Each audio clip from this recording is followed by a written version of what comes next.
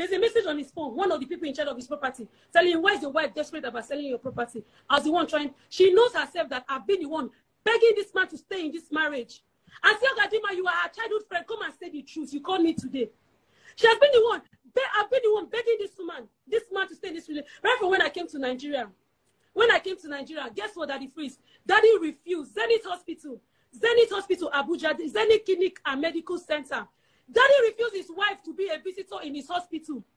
Daddy refused to see his wife in the hospital. He didn't want her to come.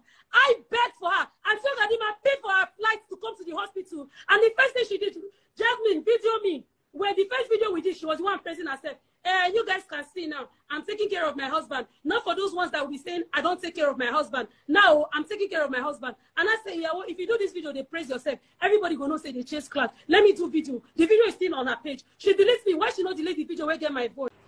Okay, so the lady is not your mother. She is not my mother. She's my stepmother. Where is your mother? Sorry to ask. She's married to another man, but she's in Lagos.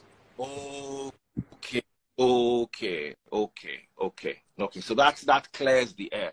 So this stepmom. Yes. Before this happened, what was your relationship with your stepmom? Let's leave your dad. Let's let's focus on you. What was your relationship with your stepmom? We are very close.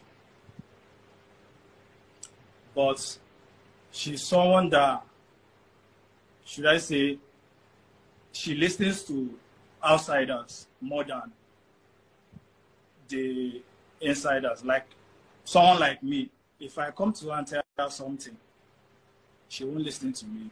She won't take, she won't take the advice. She rather take outsiders.